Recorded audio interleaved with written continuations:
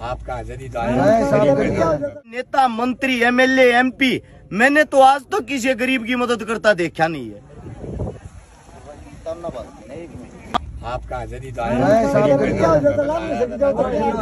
आप सभी साथियों को सबसे पहले हरस चिकारा की तरफ़ से हमारी टीम की तरफ़ से हाथ जोड़कर राम राम। हाल फ़िलहाल हम पहुँचे हैं झुप्पा में। और आप सभी साथियों को बता देते हैं जो गरीब आदमी होता है गरीब का कोई नहीं होता ये एक सच्चाई होती है। गरीब के द्वार पर आपने कभी नहीं सुना होगा, कोई नेता मंत्री आया हो, कभी किसी मदद के लिए, उनका हाथ बढ़ाने के लिए। एक ऐसा ही परिवार है जिसके आज, जिसके घर पर बारातानी, जिसकी आज शादी है। ये पीछे देख रहे हो, ये टूटी ही, ये झोपड़ी है, झोपड़ी के अंदर ही सामान रखा है, और ये भी एक पंचायती ज़मीन है। इस पंचायती ज़मीन के अंदर कुछ परिवार रहते हैं, जिनके अंदर आज एक गुड़िया की, एक बेटी की, एक हमारी बहन की शादी है। उस शादी के लिए हम सब यहाँ पे एकत्रित हुए इकट्ठा हुए हैं। आप सबके सहयोग से, आप सबके प्यार से। सबसे पहले तो आप सभी को बता देते हैं, एक डबल बेड एक संदूक, एक अलमारी, एक सिलाई मशीन, इक्यावन बर्तन व गैस चूल्हा और साथ में इकतीस हज़ार रूपए कन्यादान के रूप में इस परिवार को दिए ताकि इस परिवार के वे काम आ आप सभी साथियों को बता देते हैं, मेरे पास में खड़ा है मेरा भाई। आप सभी परिचित भी हो गए संदीप लांबा, दौलतपुर। ये मेरा वो भाई है जो इस साइड के अपने इस पूरे एरिया को कवर करता है। इस साइड में कोई भी गरीब बहन बेटी की शादी होती है। मेरा भाई सबसे पहले पहुँचता है। एक मेरा भाई है मोन्नू। मेरे पास में खड़ा है मोन्नू भाई शिवानी झुप्पा से। आप सभी साथियों को बता देते हैं, आज तक जितनी भी हमने मदद करी है, जो भी मदद करते आए हैं, ऐसी कोई भी मदद नहीं होती जिसमें मेरे भाई का योगदान ना होता। सबसे पहले योगदान करता है मिलना जुलना भाई से आज हुआ है। और आप सभी को बता दे, भाई ने ही बताया था कि झुग्गी झोपड़ी में यहाँ एक ज़्यादा गरीब परिवार रहता है, उसकी मदद के लिए समस्त भाईचारा एकत्रित हुआ है। जितने जो भी दानवीर, साथी दानवीर भाई हमारे साथ जुड़े हुए हैं, ये वीडियो इसलिए आप लोग ये देखो, जो आपका दिया हुआ दान है, जो आप अपने घरों में बैठ के अपना दान देते हो, ये देखो भाई आपका दान सही जगह पे पहुँचता या नहीं पहुँचता।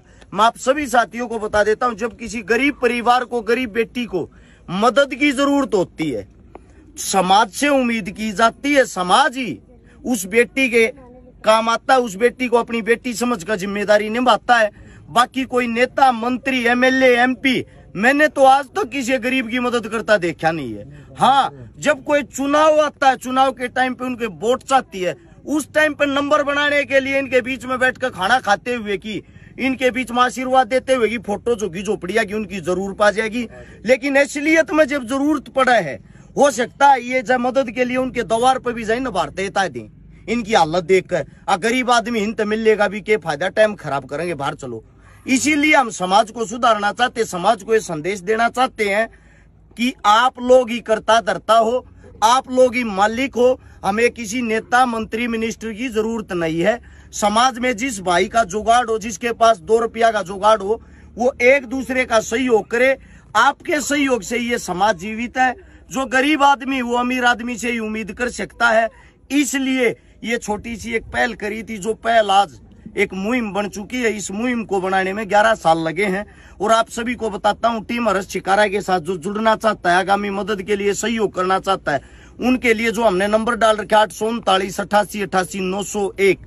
इस नंबर पर संपर्क किया करो। बाकी आप सभी साथियों को ये बता देता हूँ जो गरीब आदमी होता है, उसका भला आप अपने गाँव में इकट्ठे होकर भी कर सकते हो। हमारी ज़िम्मेदारी नहीं बनती कि हम वहाँ जाकर करें। जब उनके पास कोई मदद करने वाला नहीं होता, उस टाइम हम मजबूर होके जाते हैं। इसीलिए आप सबसे एक विनती है इलेक्शन शुरू हो चुके आपके गामा में जब नेता मंत्री वोट मांगना हुए उन तो न्यू ज़रूर बुझियो। वोट मांगने तो आगे, वोट के बिना आप हमारे गामा के कितने एक परिवार की मदद करके गए हो? कितने एक परिवार के काम आए हो? कितनी बाण बेटी तुमने ब्याह दी?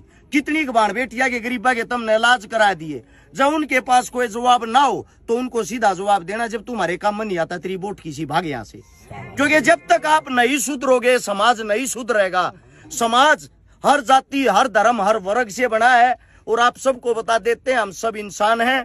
इंसानों को ये जातियों में बांट के लड़वाते रहते हैं, धर्मों में बांट के लड़वाते रहते हैं, इन सबसे बचे। समाज में हमें एक दूसरे की ज़रूरत होती है, जब आप बीमार होते हो आपका परिवार नहीं काम आए, उस वक्त आपका पड़ोसी आपके काम ज़रूर आएगा को नेता मंत्री का बेटा नहीं आएगा। इसीलिए एक दूसरे से जुड़े रहो, एक दूसरे का सहयोग करते रहो, यही जीवन इससे ज़्यादा कुछ नहीं। जितने दानवीर साथियों ने जो मदद करी, उसकी लिस्ट शाम तक डाल देंगे। आप सभी साथियों का बहुत बहुत आभार। हिसार के पास के जितने साथी हैं संदीप भाई के साथ जुड़े। क्योंकि इस साइड ये भाई एक्टिव रहता हमारा ही भाई है एक ही चीज़ है। एक ही बात इस साइड से मोनू भाई है शिवानी जुप्पा के जो भाई वो मोनू भाई के साथ जुड़े।